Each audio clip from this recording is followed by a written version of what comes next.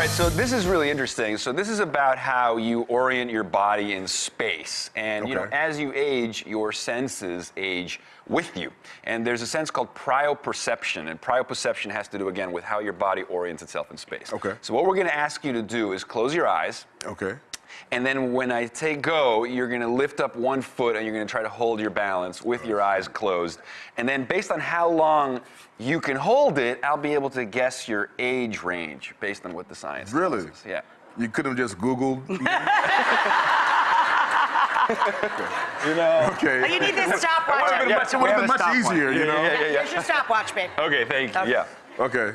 Um, all right, so are you ready? Sure. Okay, so close your eyes. Okay. And when I say go, lift up one of your feet. Okay. And go. All right, keep it up. You're doing great. Just focus. Rein it in. He's doing good. He's doing good. You still there? Oh. He's Still like got it? Karate Kid, man. Yeah. Yeah. Nice work.